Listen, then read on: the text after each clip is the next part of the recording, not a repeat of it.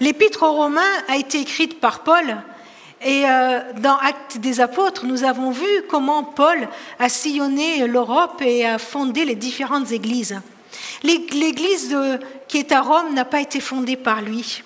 Elle existait avant qu'il s'y rende. Elle se réunissait chez Priscille et Aquilas, et il y avait là une église qui, qui grandissait. Paul en avait entendu parler et il avait vraiment envie d'aller les voir. Et on pense que c'est depuis la ville de Corinthe, à peu près en 57 après Jésus-Christ, que Paul leur envoie une lettre où, euh, où il expose toute la foi chrétienne, toute la doctrine chrétienne. L'épître euh, aux Romains, c'est une épître magistrale. Hein. Euh, c'est vraiment l'épître théologique très importante dans le Nouveau Testament. Paul, il, il prend le temps pour exposer toute cette dogmatique d'une façon bien détaillée. C'est pas pour rien que Luther l'a appelé comme une cathédrale, cette, cette épître-là. Et une fois qu'il a, qu'il a tout exposé, qu'il a tout expliqué avec, avec ses mots à lui, avec la profondeur de sa réflexion, il arrive à la conclusion de l'épître vers la fin, juste pour dire tout ça pour ça, hein, tout cet exposé. Et avant de passer aux salutations, avant de dire euh, saluer un tel, un tel et un tel, voilà le verset qui, qui est entre les deux, qui est la conclusion de tout son exposé théologique. C'est un verset qui se trouve dans l'Épître aux Romains, au chapitre 15, le verset 13. Que le Dieu de l'espérance, que le Dieu de l'espérance vous remplisse de toute joie et de toute paix dans la foi, pour que vous débordiez d'espérance par la puissance du Saint-Esprit. Voilà le verset que j'ai eu, que j'ai reçu, et voilà le verset qui conclut tout l'exposé de Paul. Que le Dieu de l'espérance vous remplisse de toute joie, de toute paix dans la foi, pour que vous débordiez d'espérance par la puissance du Saint-Esprit. Est-ce que vous débordez d'espérance ce matin? Franchement. Bon, il y en a qui débordent d'espérance euh, pour l'équipe de foot. Ça y est, ça va un peu mieux hein, depuis vendredi, on respire un peu mieux. Il y en a qui débordent d'espérance euh, parce que le beau temps, il s'installe, il est là, c'est bon. Il y en a qui débordent d'espérance parce que ça y est, c'est le temps de vacances. Enfin, on va aller se reposer. Enfin, on va faire des grasses maths. On va être cool.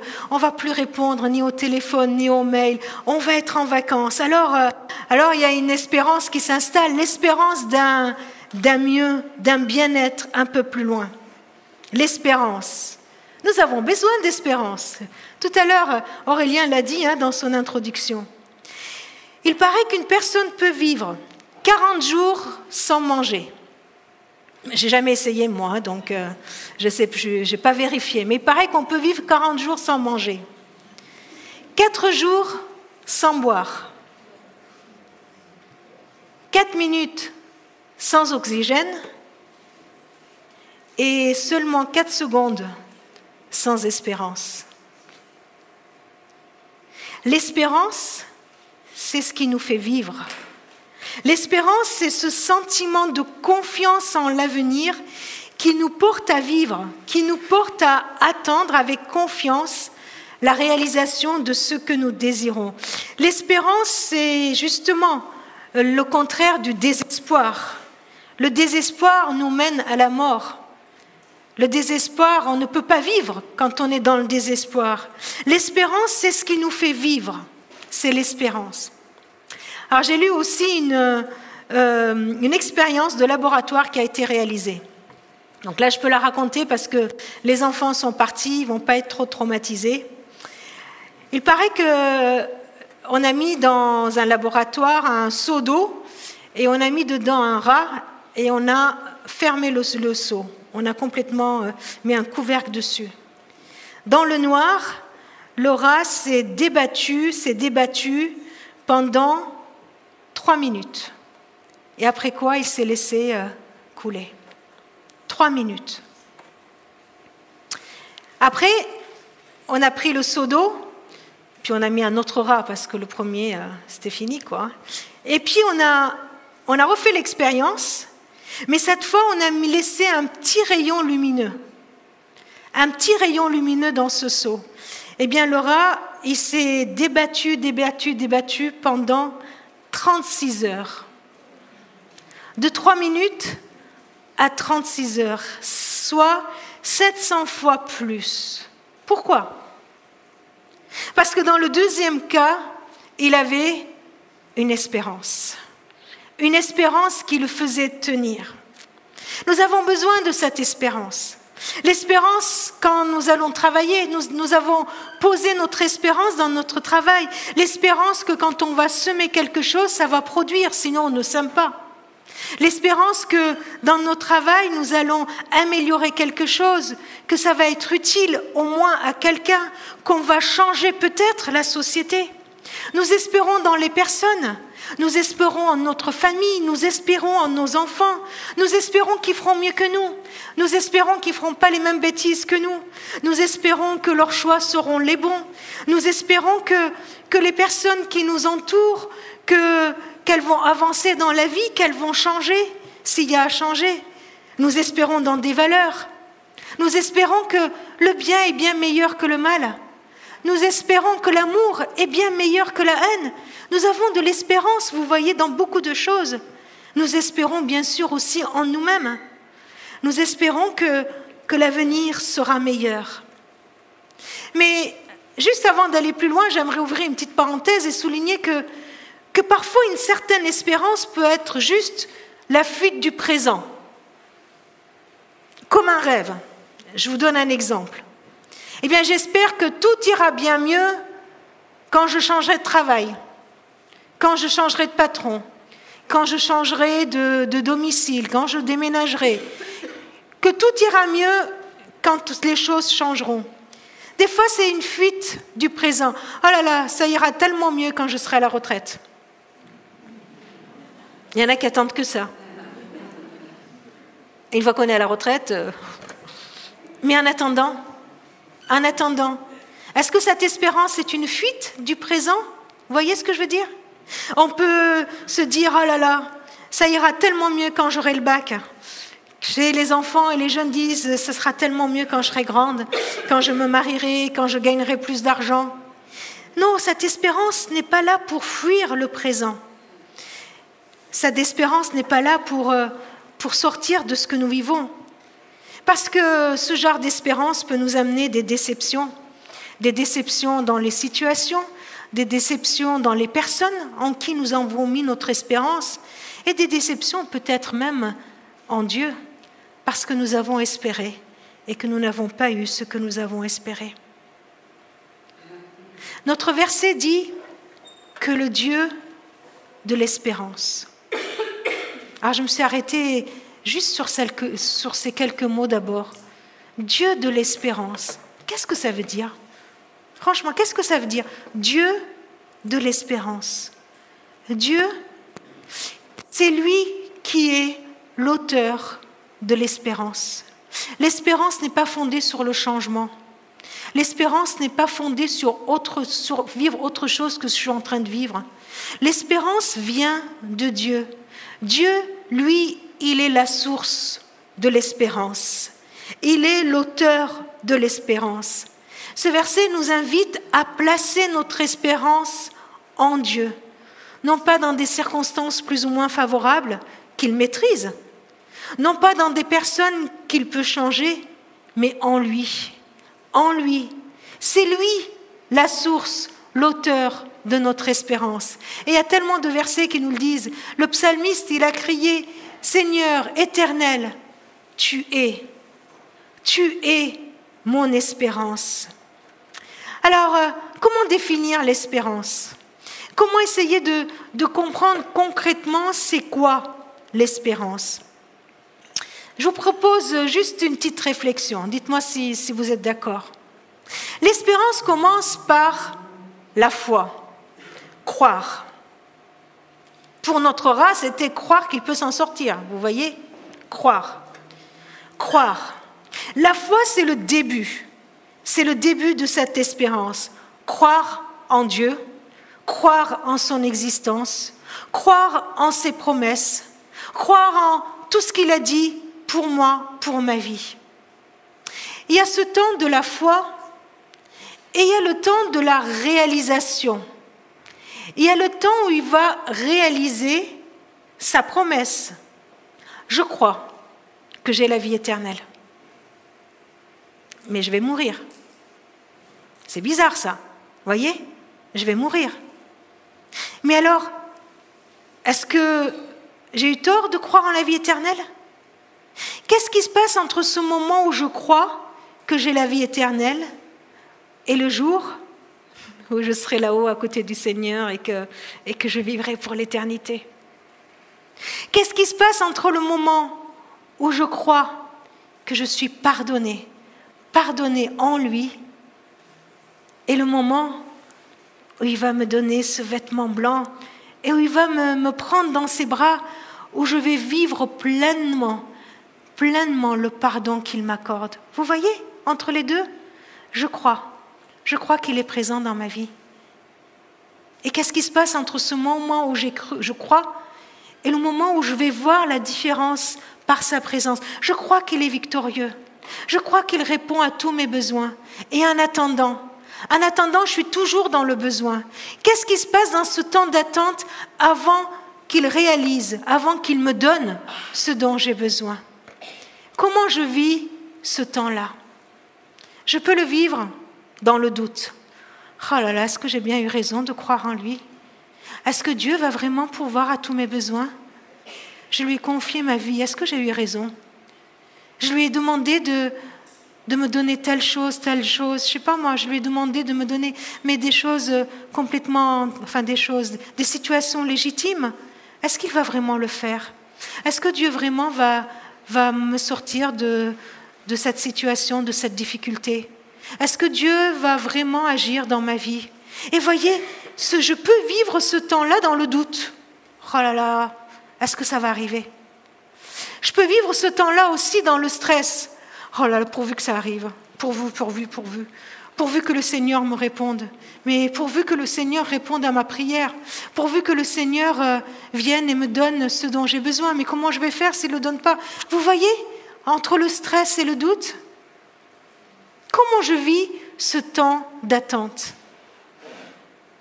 Romains 15 nous invite à vivre ce temps d'attente dans l'espérance. L'espérance, a lieu à ce moment-là. J'ai plus besoin d'espérance quand il y a la réalisation, n'est-ce pas? Quand je serai au ciel, je ne vais plus espérer la vie éternelle. Je serai en plein dedans. Voyez? Quand Dieu me donne, me donne ce qu'il a promis, je ne vis plus d'espérance puisque je vois la réalisation de sa promesse. C'est entre les deux, entre le temps de la foi et le temps de l'espérance lieu, euh, et de la réalisation qu'a lieu l'espérance. Cette espérance, c'est ce temps de confiance en Dieu, de dire oui, je crois. Je crois en plein milieu de la nuit que le jour va se lever. Je crois. Cette espérance me fait attendre le jour, ce jour, dans la certitude et dans la confiance. Oui, je sais. Je sais que Dieu est avec moi tous les jours. Je sais. Même si ce que je vis n'a pas l'air d'être très en, harmonie avec ce que je crois. Ce entre-temps, je le vis dans l'espérance. Abraham, il était bien âgé déjà quand il a reçu la promesse qu'il serait le père d'une grande nation.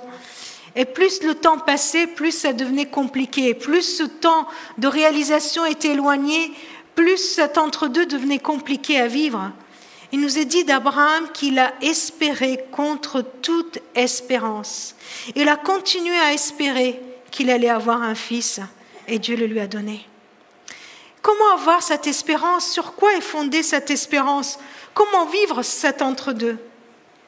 Dans Romains au chapitre 5, donc quelques, quelques chapitres hein, avant le texte que nous venons de lire, Paul dit, puisque nous avons été déclarés justes, en raison de notre foi. Nous sommes en paix avec Dieu grâce à notre Seigneur Jésus-Christ. Par lui, nous avons eu accès au moyen de la foi à ce don gratuit de Dieu, dans lequel nous nous trouvons désormais établis. Notre fierté Notre fierté se fonde sur l'espérance. L'espérance d'avoir part à la gloire de Dieu, alors qu'on ne l'a pas encore. Notre fierté ne se fonde pas sur ce que nous faisons, ne se fonde pas sur notre persévérance, mais sur notre espérance. Espérance d'avoir part à la gloire de Dieu. Mieux encore, nous tirons fierté même de nos détresses, parce que nous savons que la détresse va produire la persévérance. La persévérance conduit à la victoire dans l'épreuve, et la victoire dans l'épreuve va nourrir, elle va alimenter, elle va nourrir et fortifier notre espérance. Or, notre espérance ne risque pas d'être déçue. Pourquoi? Parce que Dieu a déversé son amour dans nos cœurs par l'Esprit Saint qu'il nous a donné. En effet, au moment fixé par Dieu, alors que nous étions encore sans force, le Christ est mort pour des, pour des pécheurs. Ce texte nous donne le fondement solide de notre espérance. C'est pour cela que notre espérance ne peut pas être déçue. Pourquoi nous ne pouvons pas être déçus? Sur quoi est fondée, est fondée notre espérance? D'abord, ce texte nous dit que le premier fondement, c'est ce que Dieu a fait pour nous. Il a fait quoi? Il a fait quoi pour nous?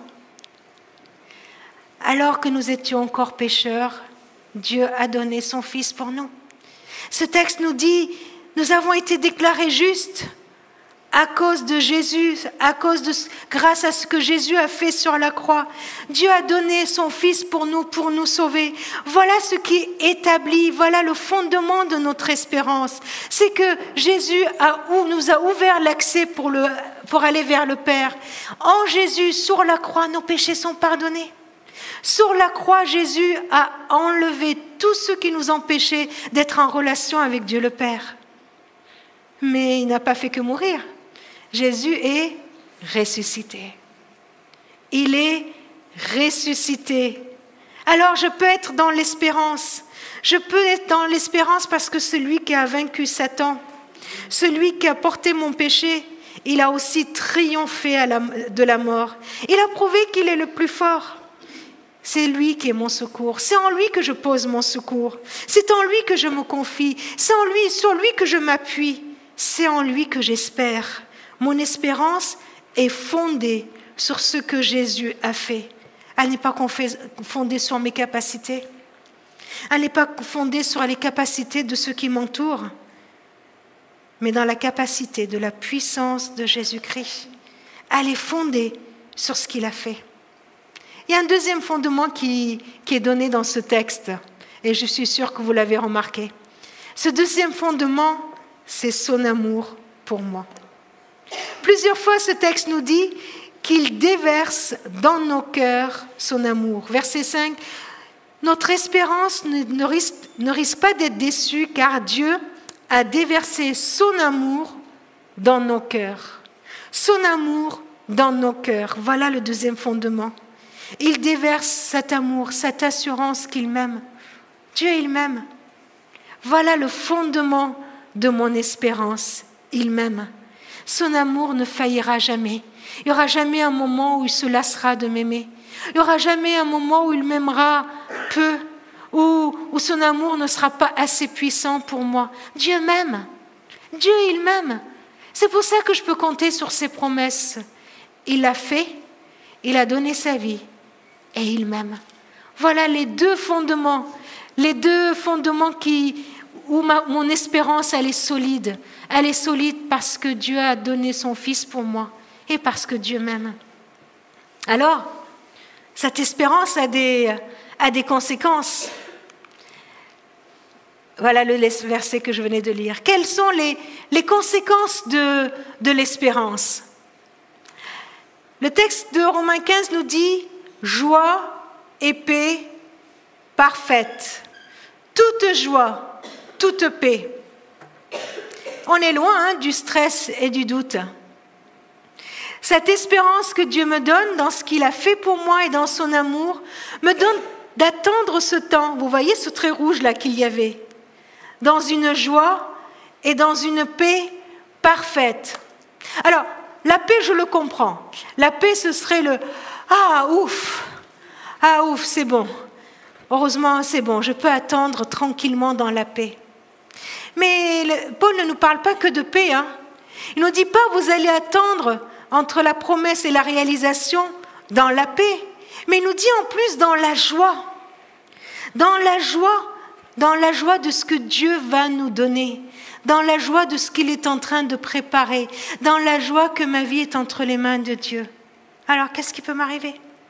La vie est entre les mains de Dieu et il est en train de pouvoir à tous mes besoins. Il est celui qui conduit à bien, qui conduit à bien toutes choses. Les conséquences sont joie et paix, parfaites. Et puis il y avait autre chose, un débordement d'espérance. Ah, Dieu ne fait pas les choses à moitié. Hein. C'est un Dieu généreux. Il ne nous donne pas l'espérance uniquement pour nous-mêmes, mais une espérance qui déborde. Et quand ça déborde, eh ben, ça va, ça va, ça va, et ça touche tout ce qui nous entoure.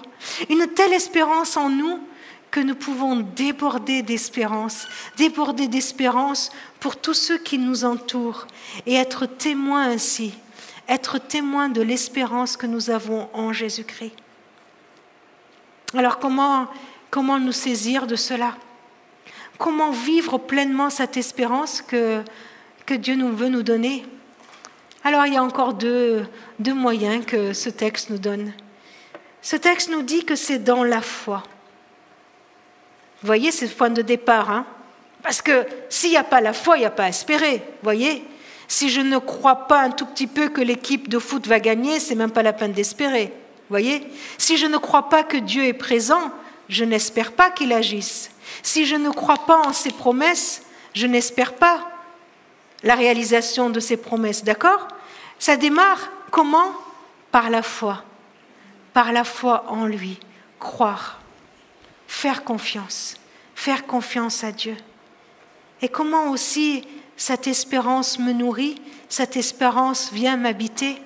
Le texte dit par la puissance du Saint-Esprit, afin que vous débordiez d'espérance par la puissance du Saint-Esprit. Le Saint-Esprit est tellement puissant qu'il peut venir me remplir d'espérance et me faire déborder d'espérance, même en pleine tempête, même en plein désespoir, même en plein milieu de la nuit. C'est ça, la puissance du Saint-Esprit. La puissance du Saint-Esprit en nous qui me fait déborder, déborder d'espérance. Est-ce que vous êtes désespéré ce matin? Si jamais ce matin vous êtes désespéré de vous-même, désespéré de, votre situation, désespéré de votre solitude, de votre travail, de votre entourage, de votre conjoint, de vos enfants. Si jamais vous êtes dans un temps où vous êtes désespéré, alors venez, ensemble. Plaçons notre espérance par la foi en Dieu, en Dieu, le Dieu de l'espérance. Venez, demandons ensemble à Dieu que par la puissance du Saint-Esprit, cet esprit qui ressuscita Christ d'entre les morts, qu'il puisse venir en nous et nous fasse déborder d'espérance. Que le Dieu de l'espérance vous remplisse. Que le Dieu de l'espérance me remplisse de toute joie, de toute paix dans la foi, pour que vous débordiez d'espérance, pour que je déborde d'espérance, pour que tu débordes d'espérance par la puissance du Saint-Esprit. C'est une prière que Paul a adressée aux Romains. C'est une prière que je peux faire aujourd'hui, ce matin, pour moi. Tu as besoin de la faire? Si tu as besoin de la faire. Alors, euh, ce matin, c'est le temps, c'est une invitation pour chacun de nous, que nous demandions à Dieu, à ce Dieu de l'espérance, qu'il vienne, qu'il vienne nous remplir de toute joie et de toute paix. Parce que ce temps, l'entre-deux, nous refusons de le vivre dans le doute. Nous refusons de le vivre dans le stress. Nous refusons de ramer. Nous voulons nous saisir par la puissance de l'Esprit qui vient nous habiter. Nous voulons saisir cette espérance. Nous voulons que cette espérance nous donne la paix et la joie. Et la joie. Et que nous puissions déborder de cette joie. Vous savez, cette joie qui est comme, comme celui d'un enfant qui, qui voit son gâteau d'anniversaire, qui voit le cadeau qui est à côté, mais qui ne l'a pas encore ouvert. Mais vous avez vu ses yeux ce qu'ils font? Ses yeux pétillent de joie à l'idée qu'il va ouvrir le paquet, mais il ne l'a pas encore dans les mains. Il ne l'a pas encore ouvert, mais ses yeux sont remplis de joie. C'est ça l'espérance. L'espérance que Dieu mène toutes choses à bien pour moi, qu'il est mon espérance que notre cœur soit rempli de paix et de joie en attendant, en attendant de vivre pleinement la victoire que Dieu nous accorde, la réalisation de ses promesses. Je vous invite à prier. Je vous invite à prendre un, un temps dans la prière, un temps où on va se poser devant le Seigneur pour prier.